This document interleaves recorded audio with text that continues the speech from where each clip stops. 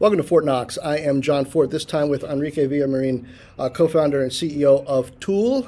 Um, and uh, I, I want to dive right in and, and, do as I always do ask what's the toughest problem that you're solving for right now. But, you know, really interesting position where you're changing the way hardware stores. Um, you know, retailers get supplied in Latin America. So I imagine with supply chain stuff, going on with uh, you know boom and demand. There could be all sorts of problems that you're tackling.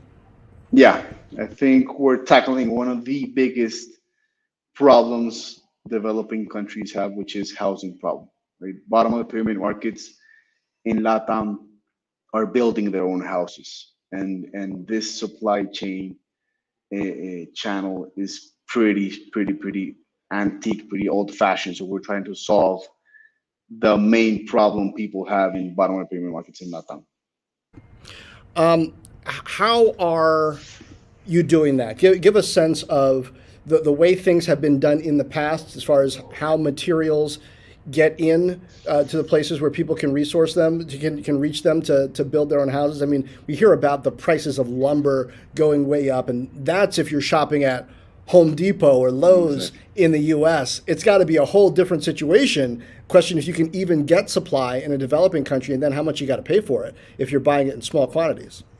Yeah, so these small mom and pop shops in Latam basically account to 60% of the of the supply chain channel, right? So if you if you if you if you would if you would sort of map out how materials flow from production companies, right? Say what steel, cement, paint, whatever. How do these materials flow through the supply chain channel, right?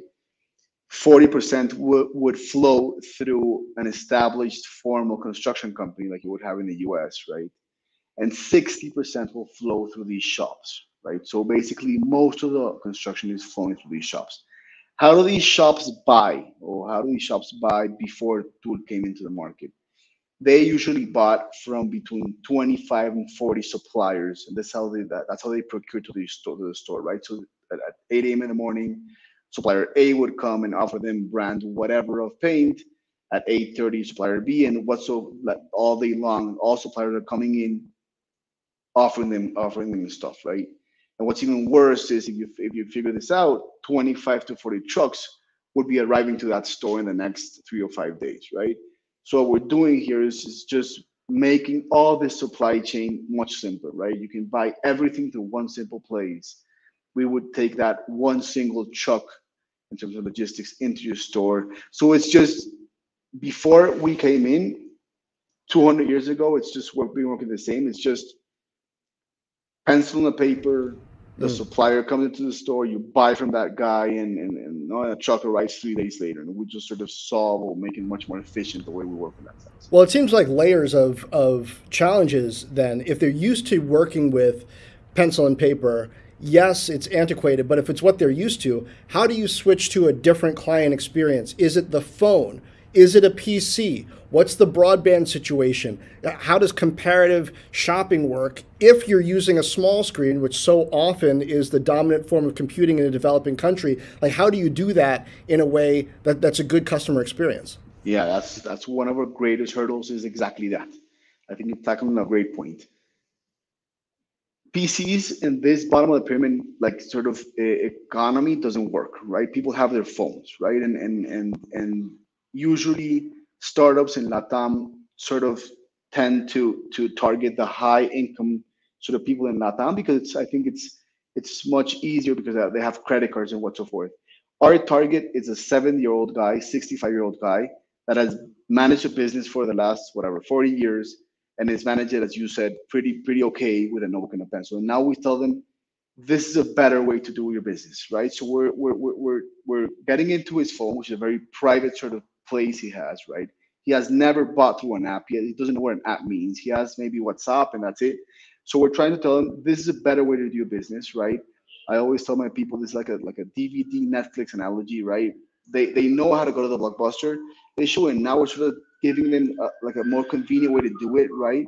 So we're telling them, guys, you know how to run your business. You've been doing it marvelously well for the past four years. This is just simpler, right? Try to try to try to try us out, right? And, and we're going to help you in the first six to seven purchases. That's that's that's how much time we spend with these guys. We would sort of sort of walk them step by step on how to buy through the phone, why we're not sort of a, a scam company. It's to work, right? So we have many sort of layers. For example, uh, he doesn't have to pay anything until the truck arrives. So now he starts saying, okay, fine, I can order through these guys. I don't have to pay right away. Once I see my truck outside, I see the, the merchandise outside. Now I can pay. So it's all sorts of sort of uh, triggers we do for him or her to be just more comfortable the way they use this new technology, right? If the store has a younger sort of nephew or daughter or whatever running the store, these guys now come with a with a, with a smartphone not uh, tied to their hand. So it's much easier to, to convey the message when the, when that happens. Now, uh, th- that was going to be my next question. There's a couple of them. One is, to what extent do you need an on the ground advocate for the technology and for the model. And if yeah, there's a nephew or you know a, a, family, other family member who's younger who's used to the technology. Hey, uncle, I do this all the time. You know, this is how I buy my books or whatever it is. That's probably a lot easier. But what if they don't have that? Do you do you need or have an on the ground sales force to kind of create that channel and be trusted? And then payment. You mentioned that um, not everybody's got credit cards. So is it payment on delivery? How does how does cash become a part of the digital economy if that indeed is what's happening with some of these customers and stores? Yeah, beautiful question. So so so number one, yes, we have two sort of onboarding processes, right? One is like an on-ground uh, force, uh, just walking through the neighborhoods, right? So what, how do we do this? We sort of map the neighborhoods out with a, with a guy in a motorcycle and a GoPro, just mapping the neighborhoods out once we know how many stores in the neighborhood, right, then we sort of send a hunting team, that's what we call it, a hunting team, to these stores, right? And we sort of try to convey the message that that you know, download the app. It's much easier to buy through this app or whatever. Once that person has downloaded the app, we sort of start hitting him with sort of a, a, a digital a, a message, right? Where we start pushing messages through his phone and start also uh, with a, with a physical guy on, on on the street, right? Once we see that person is responding to these to these online messages, to these digital messages, we start sort of removing the physical person. So that's that's what we do it. We basically do the the the door to door sort of knocking in, in street basis uh, onboarding. Now we have around 30% of the onboarding done digitally, which is great. I think it's a it's a word of mouth sort of deal now these guys are talking to each other and now they have downloaded the app by themselves. And so so the beginning is was 100 sort of onboarding physically and now we have like a 70% onboarding physically right? That's that's sort of point number one. And point number two which is a very very sort of big issue in latam is cash right? Eh, eh, as you, you said it perfectly right? We have we started with 100% cash. We're 95% cash. And cash is an issue right Uh, as I say, cash is king, but I say cash is not king where you're in you know, 8 p.m. bottom of the pyramid neighborhood in La Tama, Florida. It's not easy to manage, right? It's hard. So one of our one of our one of our of our solutions with the app is now these guys have a sort of an e-wallet with us. Now these guys can order uh, a MPOS reader through the app. We would put that MPOS MPOS reader in the in the in their store. So whenever someone comes into the store and sort of reads, pays with a with a credit card, they will have this sort of bank account with us, right? Now we have these QR codes that whenever someone comes into the into the into the hardware store and pays with a QR code, now they have the wallet with they have the money within our wallet. So we're trying to make a whatever 2,000 euro problem, which is having cash in the bottom of the pyramid, trying to start to utilize those payments and make it much more online. But yes, it's it's 95% cash based system. We have all sorts of all sorts of tech on how to recollect that cash. Because if, if, if you figure this out, we have trucks moving around town with merchandise, and then we have trucks moving around town with cash, right? So we need to be able to have guys on bike sort of onboard those trucks and sort of uh, remove the cash from them and go to a bank and, and deposit. So it's it's sort of a, a very sort of tech scheme that that we play around every day to to solve the issue. But in the long run, we we we we we're willing or we want to push for more digital payments on these stores. Are the wireless carriers on your side here. It, it seems like a massive opportunity for them where um, so in the US, for example, as software platforms get more advanced for e-commerce, things like that, people's phones and PCs are also getting more advanced to be able to handle um, the, the increased load and demands on software. But I imagine um, in a lot of developing markets, people are keeping their devices for a lot longer. Uh, they're not necessarily, it's not necessarily in the in the culture to be like, oh, I'm going to get the latest app you know, once you get somebody off of pencil and paper, they're sort of like, well, this is my app and this is how I do it. I don't imagine they're going to take too kindly to a to an interface upgrade, right? So it, it would help if you had somebody subsidizing the equipment, you know, a sales force that was in there, and, and it could even help with digital payments. But is that likely? Is that happening? The quick answer is no, it's not happening we're developing ourselves, right? We're, right now, we are developing the tech to not only help these guys procure for those stores, but the next phase is help these guys run their business, right? So we're we're now we have already sort of run the pilot to sort of create this. I'm not going to call it ERP, but sort of a POS system where these guys can start sort of having a ledger and a simple ledger, right? They've never had this before so if they now log into the Tul app, they can now procure from us and then they can sort of put how much they sold and very simple steps to take them into a very sort of, yeah, simple ledger, sort of start making the business much more evolved. But yes, it's not happening as, as, as a as a separate company. We're doing it ourselves right now. Well, a huge potential impact, not just in you know hardware stores and materials, but overall the economy and digitization, um, you know, as you work on making that happen. Want to talk more about your vision and the progress that you made so far with Tul, but uh, before that, now I want to go back and uh, get a sense of your backstory. Um, so I like to start at the very beginning. Tell me about where were you born, parents, household, siblings. What was the situation? Amazing. I was born in Bogota, Colombia. Uh, lived in through through through my early year my early years here in Bogota, Colombia. I have one brother uh, who also founded a very sort of successful company called Rappi. So we we come from this sort of uh, background, right? We we like to we like to sort of uh, discuss problems in the economy and in, in, our in our dining table and sort of sort of try to solve them eh, as we could. So yeah, one brother mother and father, both very into the corporate world. And I went to study economics in Colombia and then went to do an MBA abroad in Spain. Came back to Colombia and started, you know, working in one of the biggest sort of construction conglomerates there is in Latam, right? Now we're moving too fast. I like to spend more time right in in the childhood just a bit to understand. So you, you said um, your parents very involved in the corporate world. What did that look like? We're talking like 70s, 80s? When are we talking and what are they doing? Yeah, my mom was was big into oil and gas, right? Uh, there's there's a funny story which is that she actually went to to, to sort of sell uh, oil and gas abroad. That was not 80s, late 70s, 80s, right? And and Colombia wasn't in the map. Colombia was you know one of those countries that was where you come from and what are you selling? and and she had to actually go with a physical map, like a physical map, to whatever, to Japan, into into into whatever, and sort of explain what Colombia was and explain one of, that we have one of the biggest oil reserves. So she was really corporate in that sense. She worked for these big uh, corporate sort of oil and gas companies, right?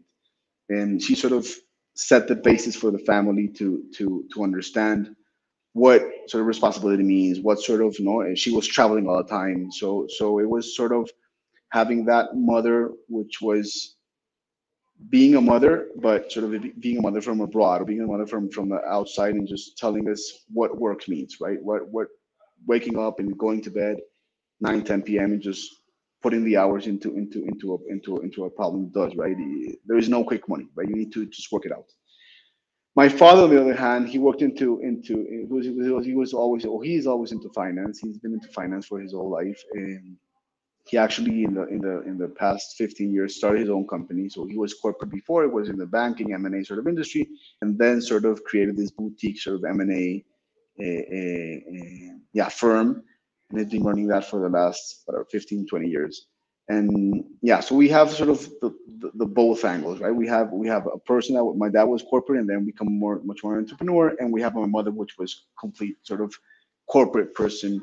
Uh, but yeah, complete working family. Uh, yeah, that's that's it. And my brother and I, uh, my brother is younger, and and he was much more into tech than I was at the beginning, and and and yeah, he he sort of pushed me always to to understand much more this tech world and the benefits of understanding how tech had disrupted sort of the, the developed the developed countries and how could we bring that tech into Latam and understand better uh, how do we solve problems with tech.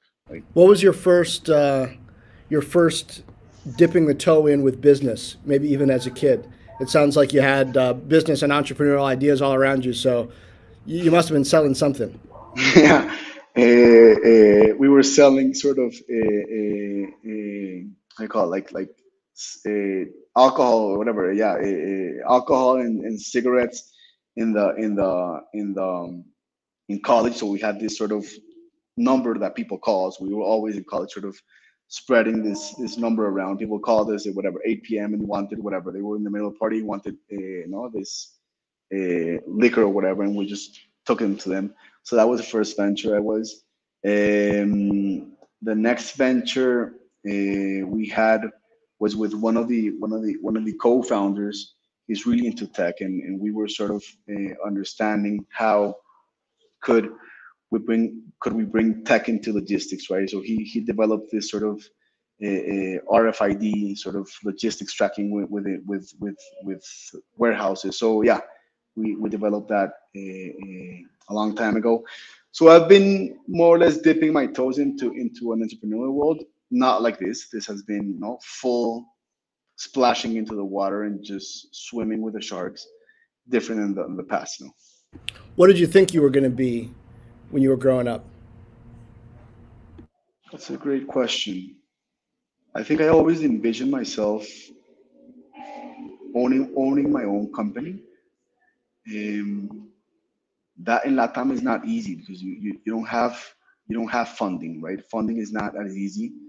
I think, and I and I really want to say this, Rappi sort of opened the world to many sort of VCs to open to to come into Latam and to come into Colombia, but it wasn't easy. So I always envisioned myself sort of running my own company, right? A life takes you to a path that that you cannot decide. So I had I, I got married at 30, you know, ha, have two beautiful daughters, and and and I think when when you most sort of when you most see the need to go and you know, go and get that sort of bread for your family, that's when you sort of not dip your toes, but sort of plunge into the water, right? That that was my decision making process. Was okay. Now I have two daughters. One is whatever. One was six months old, and the other one was two years old. And that's when I decided to to be an entrepreneur, which was a weird moment, but I think that has been like my biggest sort of push every day is know to get to get to my house and just see those daughters and just keep on pushing. So I think you need to have a motive to, to do this, right? Because it's it really it's hard. It's a hard it's a hard sort of yeah times timeline and, and you need to have that motive to to keep pushing what was your brother's trajectory because it sounds like he was a little bit more into tech um, sooner than you were you said did he also take that entrepreneurial leap sooner? Yeah, when when I was really good friends with Simon, uh, the other co-founder of Rappi in college, right? So so when so we have we're, we are very good friends, and when my brother sort of graduated college, uh, yeah, we sort of met, and I told Simon, hey, this is my brother. You know him. He's into tech. Why don't you guys you know start? He, Simon already had a company why don't you start talking to each other and see if there's something there so my brother pretty much sort of graduated college and then sort of went into the entrepreneurial world right away and has a very successful company. So so i think my path was much more sort of corporate understand what i wanted to do and then move to entrepreneurial world. Yeah and i think when i always talk to vcs i think in the b2b business you really need to know about your, your industry right? It's not it's, it's it's really sort of having that deep knowledge on how the industry works and and and just push through uh, know the pains of the industry right? So so i think that path that my life took me uh, with just knowing that corporate world knowing that how that structure world knowing how construction world uh, works, I sort of then moved into entrepreneurial business. But yeah. Tell me about getting to know the construction world. What what was your experience? Were you directly involved in building something, or um, how did you learn? I supplied. I, I was the biggest supplier of cement for for Colombia and Caribbean and part of the U.S. Right. So so I did the supplying. Right. So I, I was I was sitting down in that sort of sexy table, uh, suppliers, you know, big headquarters, and and I was supplying to all these stores, and and once we had sort of this this this big fair or whatever, and and we had this big stand, this corporate stand, and these two guys came into the stand, and they and they were these hardware store owners, and they said, "Could we have a beer?" And I said, "Sure." And they said, "Why don't you sell cement to me?" And I was like, "What do you mean? We do sell cement to you?" And he said, "No, you've never seen in my life. All you see is distribution companies. You push product to them, and you've never seen me. Why don't you go to my store and meet me and know my name and who I am?" And that sort of hit me really hard. And and and and yeah, so in the construction world, it's it's it's a beautiful place, right? But it's it's as if you it's, it's if you sort of walk over you know, a mountain you, and you and you hit this valley full of dinosaurs. That's construction, right? It's just big animals that haven't moved a lot in the past two thousand years. Comfortable animals, right? And, and and and the sexy part of the chain is is upwards towards the production companies. But where the magic happens, which is in the market, no one is looking at the market, right? Everyone is looking at these corporate guys, which are they have built amazing companies, and I don't want to sort of they have built amazing companies, but these bottom of the pyramid neighborhoods need their help and they need to yeah and, and they've never seen them. All they see is a truck in a, in a warehouse and just push produce whatever pvc and just push it across and push it across. So that's when it hit me and and yeah there's a big there's a big gap a big need in the market there. So where did you go for funding at first.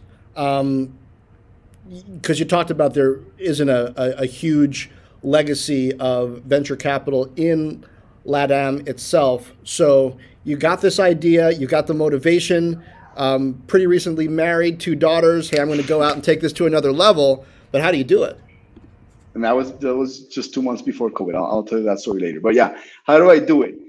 Um, basically going to the to the early founders in Rappi and telling them, guys, I would I want to pitch to you guys, right? And and these early founders in Rappi sort of knew the ecosystem, knew my brother, knew Simon, we were friends, and just try to pitch them. So we had like really angel investors in Colombia, but fortunately, I could get these couple of U.S. based firms, right, like Vine, like H20, that those guys sort of were the, the, the later on sort of bridge to get to the US, right? So I had these angel investors that I had invested in Rappi and had sort of were comfortable in the VC world. But for, I was really fortunate to get to these couple of funds that were based in New York, that they knew the market, they taught me about VC, and so I had like the the the the, the dual sort of side, a very angel uh, investing and sort of more professional sort of VC world. But I did it with just connections with with a Rappi sort of uh, cloud. Um, what was the reception at first? What were the skeptical questions or or eager questions that you got? Uh, I had one of the one of the biggest questions. Why was this has to be the least sexiest business I've heard about in a long while, right?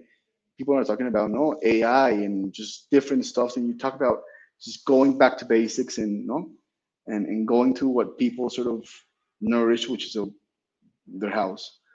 And yeah, so the, so the questions was, why has no one seen this before? Right? Uh, how come you guys are starting this and we have no sort of comparables across the board? And that was a that that's a question that always sort of is in the in the in the in the what was before in the in sort of the in the in the table how are you going to convince these guys, which was your previous question, you know, seven-year-old guy who, who, has been successful through his life to leave his notebook and start an app, right?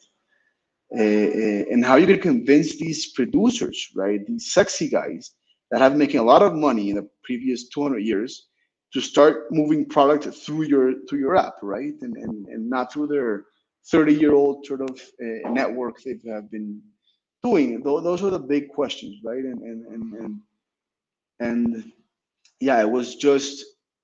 I think if if you have if you have a company that you start with with a with a with a with a mission, right? Like with a with a deep mission, right? And a deep mission is really to transform Latam and and and and, and from the from the roots up, right? We're not sort of uh, playing with the top of the pyramid. We're playing with the with the roots of the economy, right? And and and I think that mission sort of conveyed the message. We said, guys, we need to tackle this problem. This is the biggest problem in Latam.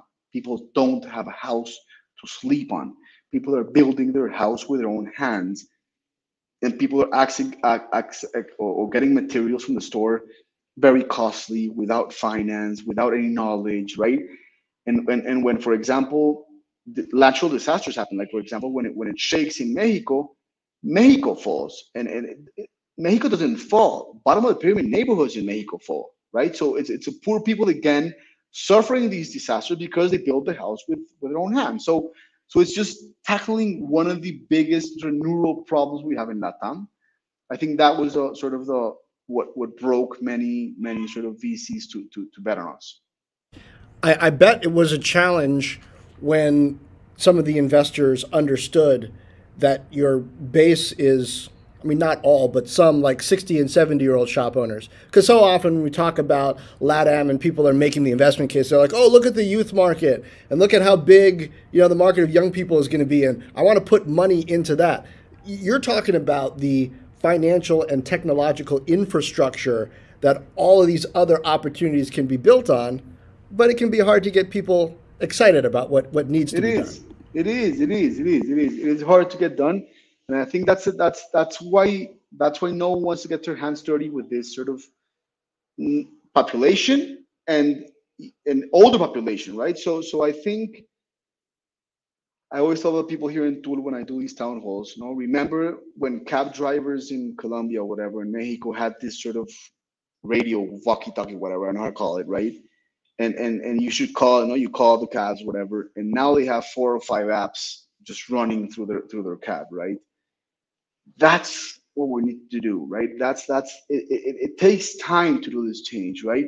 But it's inevitable right? It, the, the industry i think not get me wrong but I, one of the biggest industries in the world that hasn't been tapped with tech is construction right? You see these neobanks which are tackling sort of the financial sort of sector.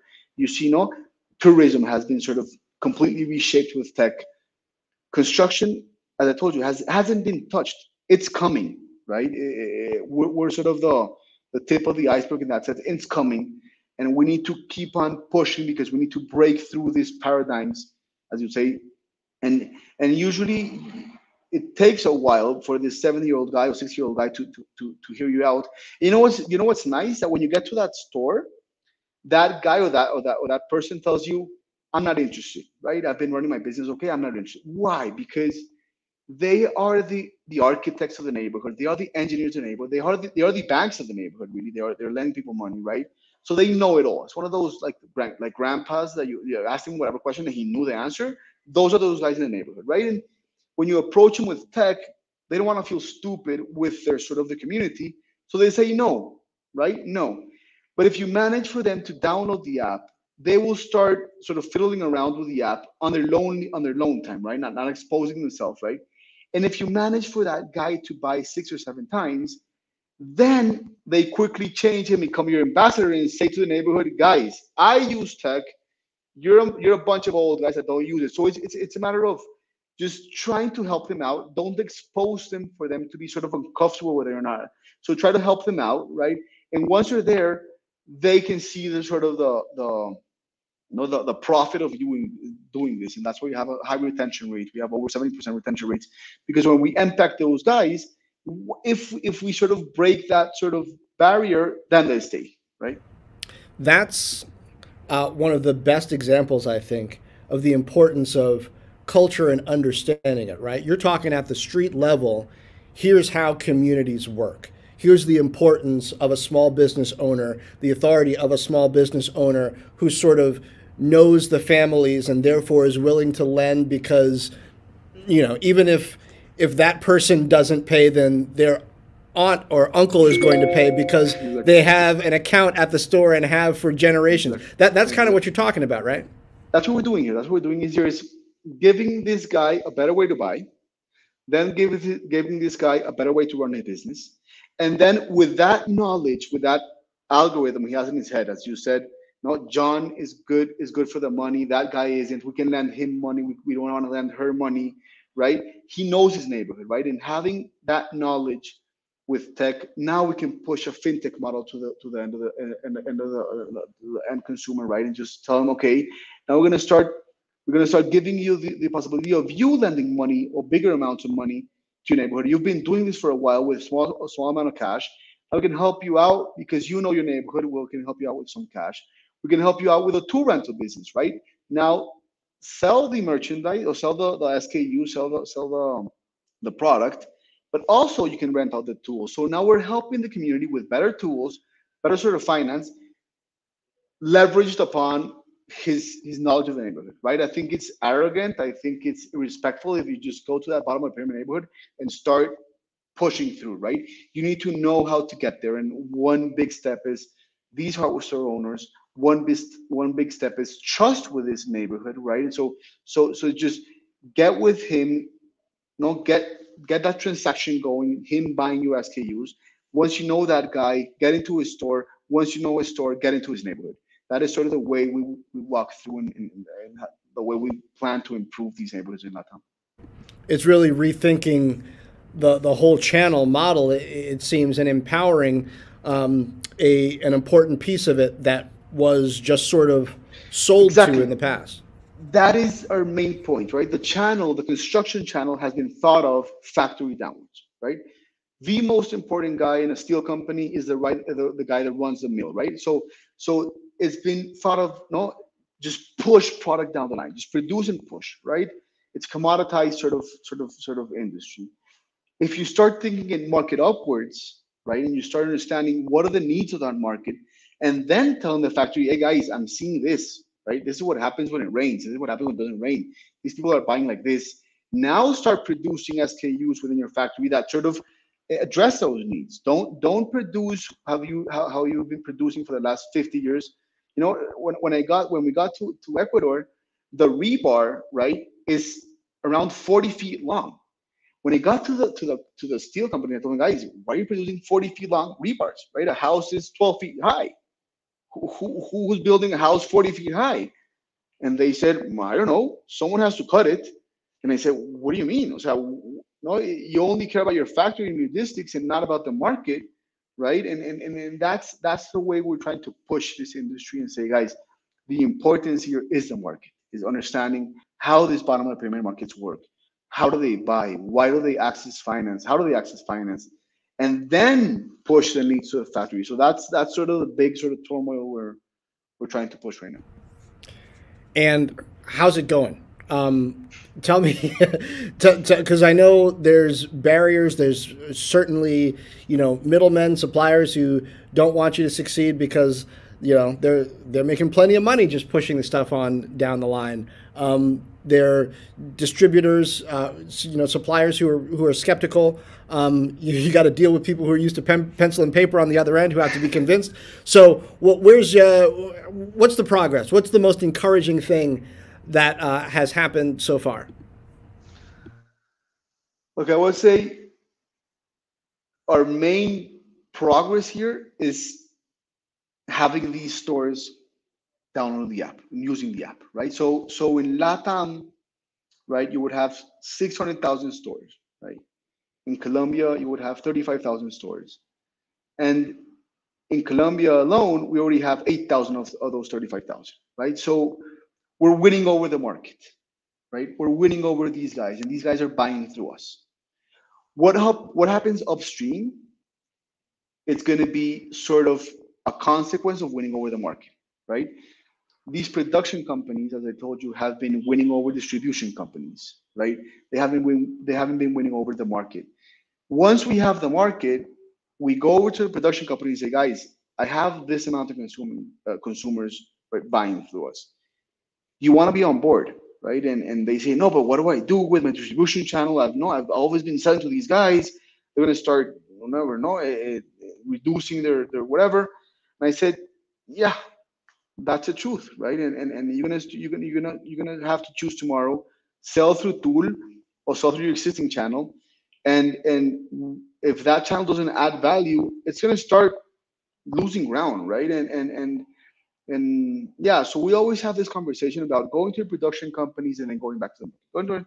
And if these guys don't want to be on board, which happens a lot of times, they, they're not easy to move.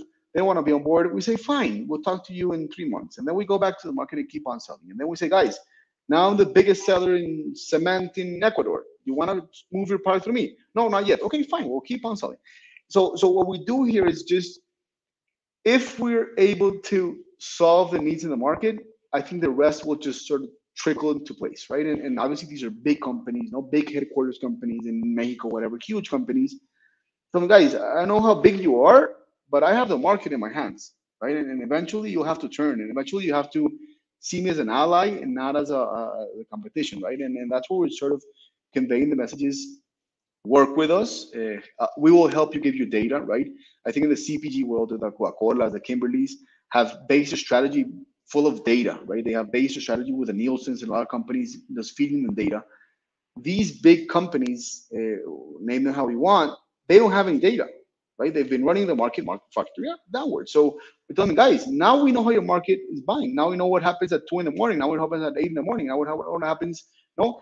If you want to use this data to start improving your SKUs, be my guest. And that's what we bring to the table to that end of the spectrum, right? Is data to those suppliers and helping them, those guys sort of improve their, their SKUs. And some companies have been very sort of bullish in the way they act and they have know, created marketing teams to, to understand our data because they have never seen the data before and just, well, so some companies do, others are more stubborn, but I think it's just a matter of time they fall into place. I mean that that tends to be what happens whether it's ride sharing or uh, movie and TV streaming or, or what, you know, the old model holds up for a while until the dam breaks. Um, exactly. I, I, like to ask a question about what I call Death Valley, uh, lowest point, um, because I find there's often a lot of learning there, le- good lessons there, and how you got through it. But has there been what's been the lowest point in this business and entrepreneurial journey where you thought maybe you would hit a wall and you would have to to do something completely different. Has there been a point like that? Yeah, a big one, which was we launched for first of March 2020. You know, and 20 days later, the government said everything is closed. Right, your market is completely closed. We said, "Jesus, what are we gonna do?" Right, and and and I remember I was back in in uh, we have this small place in the beach, and my daughter was sort of wanting a popsicle or whatever. And here came this guy with the beach with with sort of selling popsicles. So we got the popsicle from, from my daughter, and that guy had had a, a small pacifier just tra- strapped to his to his thing to his to his bag. So why do you have a pacifier? And he said no, because when when when the sun and whatever this starts hurting, I look down, I see the pacifier. I have a newborn in my house, and I keep on pushing through the sand, right? and that sort of clicked me in and say, guys, I cannot, I just started a business two months ago and I cannot stop because of COVID, right? I, I need to pivot. I need to do something. So we went back to the office and we said, guys, first, we cannot stop coming to the office, right? We need to be in the office. We need to see each other's faces. We need to have a, you know, a, a discussion with each other at the table. And we said, let's start calling our customers and call them over and say, hey, John, we, we sold to you, whatever, two times. Uh, I know you're closed. Uh, what can we do for you? Right? And and, and then they said uh, no I, I, I still have some clients which are open. I cannot sell to them. Uh, are you able to sell? And we said yeah we're in e-commerce. E-commerce is still open. We can sell so what we started to do was those guys those hardware store owners were selling through their phone were selling to their friends through their phone we were shipping uh, materials across the board not jumping the store logistically and just shipping across so so that was the pivot we did. We said we will be able, we, we will ship across, and, and we did it. That sort of held us. So that sort of maintained us through COVID. And then the, the next sort of thrust was huge. Was Colombia had huge social unrest. I think it was May or, or, or April uh, uh, this year of uh, 2021 and and no the market was was on fire we were on fire and people were having a bad time and again just sales plummeted and we said what do we do And again, going back to the market is the answer. Going back to your client and just ask him. We called, hey John, it's me again. What do you need? No, I cannot sell anything. They're burning up the trucks in the street. No, no. My question to you is, what do you need? Right? And they said, fine, I need diapers, I need rice, I need lentils, whatever. And we bought the, the, the diapers and we shipped across the diapers and we bought the rice and shipped across the rice. And I think when you have these sort of throw-offs that we'll have 2,000 of those in, in your venture, just go back to your market, right? Don't go back to a to, to a drawing board and try to figure out how to solve COVID in a, you know, in a, in a no, just go back to your clients and say, how can I help? Right? I'm here on your side. We're all in the same sort of boat facing COVID, which no one in the planet has ever faced. Uh, or in the second time, we're on the boat. We know that the country's burning up. How can I help? What do you need? And if, and if you can solve those needs in the worst time possible, I think that's how you how you win over a market. That's how you, that's how you stay alive, right? If you if you're stubborn and just arrogant and just keep your way of doing stuff, I think you'll lose. If you if you if you lower your sort of your your just be humble and just ask the question, what do you need? I think it's easier to just pivot from there. What was the impact on retention, on satisfaction, on reorders after you pursued that strategy of just calling them up and asking what they needed? Yeah, we had around 50% retention and it grew up to around 75% retention in two months. After, so after the, the fire settled in and we had business back in place, these guys started to buy. Um, we had average order value, so average the share, share of wallet in our clients just grow two or three fold and those clients we impacted, right? So we see those cohorts of those clients that we impacted with that call. Said, John, what do you want or what do you need?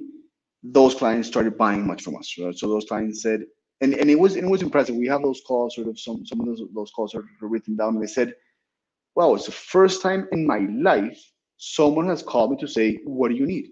It's the first time in my life. I'm a six year old guy, and it's the first time in my life someone's called me to say, John, what do you need? How can I help? That simple question and I think that's that's the impact we're creating. Uh, yeah, and, and we didn't do it just to to sort of create that retention. It was just guys, our clients are in a bad shape right now, not because of them, because of the no, they're their their their externalities. Let's go out and help them and with whatever we can. That's what we do all the time. Well, isn't that what happens at the street level when these things happen, right? Isn't it these shop owners who are going to the neighbors who they know saying, well, I, I know you can't buy construction equipment because the neighborhood's on fire. What do you need? And then their customers are saying diapers, and that's why they told you diapers. Isn't exactly. weren't you exactly. fitting into the culture of the communities that you're serving in the end? Exactly. We did it with, for example, we did it in two cases, which are we remember was COVID started. We called them over. What do you need, John? And they said we want to we, we want to keep on selling, but our community is sort of you know, a, not dying, but it, it, it, it, it's hurting, right? So so so we did it with Mid Alliance with a company that did all sort of disinfectants and masks or whatever, and we sort of shipped those across. And we saw we told the communities, guys, you and your community become that sort of health center and start people coming to your store, right? And you start giving those guys protection gear or whatever. That really helped them out. And secondly, they said, guys, the government is sort of uh, writing new laws every week about COVID. Eh, we can we can open, we cannot open. We can what can we do? We don't understand this. So we sort of had this sort of town hall meetings where I and the lawyer of the company sort of talked to them and said, guys, this new sort of uh, this new sort of law allows you to do this, this, and this. You cannot do this. So we sort of help them sort of convey that message to the community. And yeah, they they sort of trampoline that to their to their own to their own to their own community. So yeah, yeah, we're, we're reading those guys to their community. I think uh, the the camera just got confused about uh, the color because of the white background, but we'll we'll sort of power through.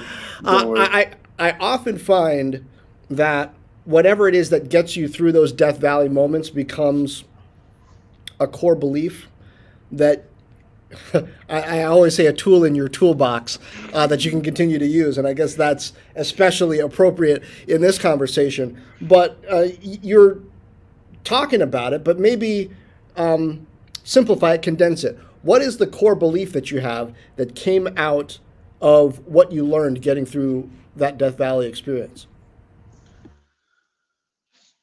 the core belief is that you need to really if if you hear out your if you hear your market if you hear the if you hear the people talking to you that will let you sort of evolve in your company. So my, my biggest message here is in in when you, when you're in the highs of the company i think it's easier to just not do a-b testing and do whatever you want to do and just sort of but when you're in these sort of deep holes in the company just shut everything down and have and we did this have the whole company in buses in the street. We actually did this we we have we have yeah we have this sort of saying because in the we I have this green jacket right now but the the, the jacket that goes in the street is yellow. So they call they call us minions in the street. So we actually we minionized sort of the community. So we have these people just go to the street and just sit down with a guy and ask him questions. If you're able to get those answers back to your to your to your, to your company and to read them out that's the best advice i can give you uh, like like uh, like yeah new, new incomers and new, new venture guys. Is just don't be arrogant. Go to your market hear them out and they will give the answers. That's a big sort of the biggest sort of takeaway i have from these sort of thrusts wow. Now uh, let's go back and talk about what happens now. Um, are you still raising money? Uh, you know, based on where we are now, not just with COVID, but on the kind of cycle of adoption and, and what you've been experiencing, what's your plan? What's your hope for 2022? We have different stage gates, right? So we have cities which are we're opening right now, which are expanding really fast. We, we have now 10 cities, but we should able we should be able to end up 2022 with more than 25 cities in the in the company. So we're expanding as we speak, putting new flags into new cities, and then the playbook is running. Get those people on the street, get those guys to on board. No, the, the, the playbook. The the the others are now in cities that we have much more sort of consolidation with with with the hardware so it's much more sort of share wallet and much more in depth. Now our, our plan is, as I told you, get within the hardware store. Okay, start start helping those guys run the business. So so for the plan for 2022 should be keep on expanding, open more than 20 cities or 15 cities within within 2022. Get within the hardware store, get within that business, helping run the business with with with, a more sort of mature clients, right? And open up Brazil. Brazil is a whole new continent. It's a whole new sort of venture for us. It's an amazing sort of country. Uh, but it's deep. It's it's it's it's, it's it has it has its, its, its weight, right? It's it's a heavyweight champion. So so so yeah, I think I think those are the three sort of brackets: expand where we are, get within the hardware store where we sort of uh, have maturity, and conquer Brazil or start putting flags in Brazil. Brazil is huge, and in a way, this reminds me of the ride sharing uh, playbook. There were so many companies that were creating demand at the customer level for a, a, different level of service, for a higher level of convenience, for a higher level of you know payment transparency, and then sort of geographically moving. And the um, the powers that be in various markets uh, put up a fight. Uh, how is Brazil, as big as that country is, and as big as that market is, characterize the challenge? First, we need to punch first, right? I think it's very important for companies to understand that first mover advantage. We have a huge advantage here in the market. Secondly, I truly believe that Brazil, because of its language barrier with LATAM, acts as a separate market, right? You, you see it's like LATAM and Brazil, right? They're like two separate things, right? And Brazilians like to deal with Brazilians. It's, it's one of those understanding the culture, be respectful and understand the culture, right? So it's it's a, the first challenge we have is how to build a team which is completely Brazilian, completely autonomous in the way they work, right? Given the tools to that team to be able to deploy the market without sort of a headquarters messing that uh, that uh, that venture, right? So we really truly believe Brazil is a new venture within Tul, right? It's not it's not another country; it's a complete new venture. Before we sort of have this expansion team, no, giving the, the, the launching the country or whatever. Here in Brazil, we have Brazilians understanding their market and launching launching their market. We also have we also have a much more sort of tech-enabled country, right? So when we get to these stores in Brazil, these guys now know much more about tech, right? It's not the same store we see in Bogota, in Sao Paulo. Now we see sort of store owners which are much more familiarized with tech. I know it's going to be easier or harder because they have seen what tech can give them, and now they can sort of compare, uh, not in their, their business, but sort of they know what whatever tech can give them. But it's a, this is a difference we have in Brazil, right? Brazil has is a much more tech-enabled country, as you say. Uh, many apps or many many sort of unicorns have been born in Brazil, different than the rest of Latam. So yeah, I think the challenge there is how to run a team uh, autonomous, alone from the rest of the world, because that's how Brazilians like to like to like to dance, and also how to get to a client whose needs might be higher because he's already been touched by the by the by the tech sort of uh, yeah angle. All right. Well, it's a uh, it's a big challenge, but you faced them before. I look forward to uh, hearing about how it's going. Uh, thanks for sharing so much about Tul itself and about your journey as uh, co-founder and CEO, uh, Enrique Villamarin. Uh, I appreciate you joining Fortt Knox. Thank you, thank you, thank you for the for the time and thank you for the yeah just help me convey my message. Thank you.